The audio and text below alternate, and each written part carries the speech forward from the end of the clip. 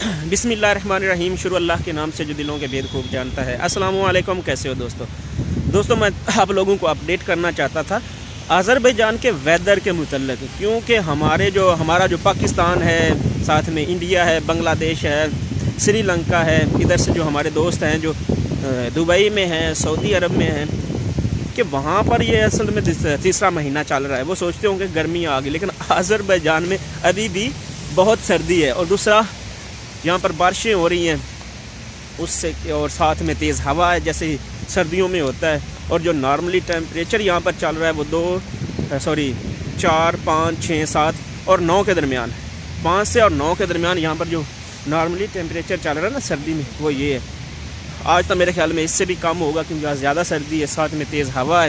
جو میرے دوست انڈیا سے، بنگلہ دیش سے، Sri Lanka, Pakistan, Dubai, Saudi Arabia سے، آذربائیجان کا وزٹ کے لیے آ رہے ہیں۔ ریسنٹلی اسی منتھ میں ان دنوں میں تو وہ اپنے کپڑے جو ہے نا یہ یہ دیکھیں سر بار سے یہ ہے باپو کا ویسا آپ